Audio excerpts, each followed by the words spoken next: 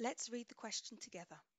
Figure 1 shows how magnesium and chlorine atoms form magnesium chloride. Only the outer electrons are shown. The dots and the crosses represent electrons.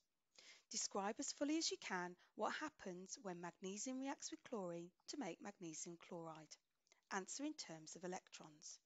So the command word here is describe.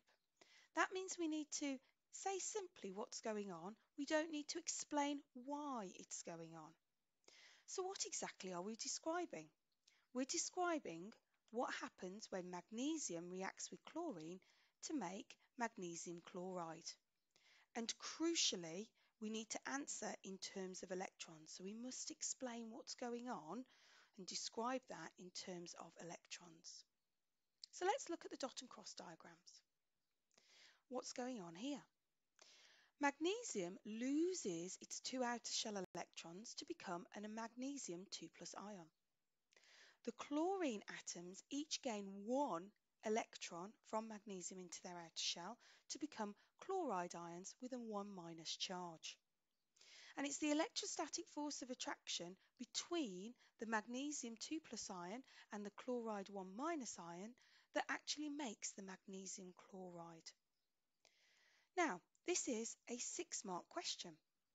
This means we're interested in the quality of written communication.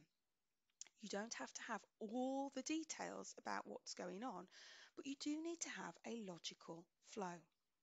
Now, your examiner will first of all level your answer. A level one would be one to two marks.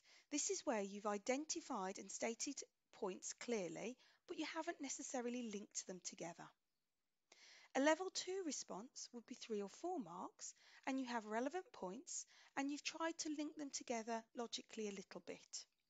A level three allows you to get the most marks, five to six points, and this is when you have that truly logical flow and have a little bit more detail to what's going on. So let's have a go at writing a level three answer.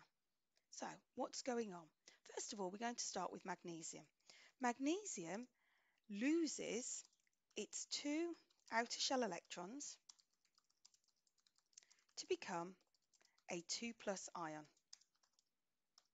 Meanwhile, chlorine gains one electron into its outer shell to become a 1 minus ion. The oppositely charged ions attract each other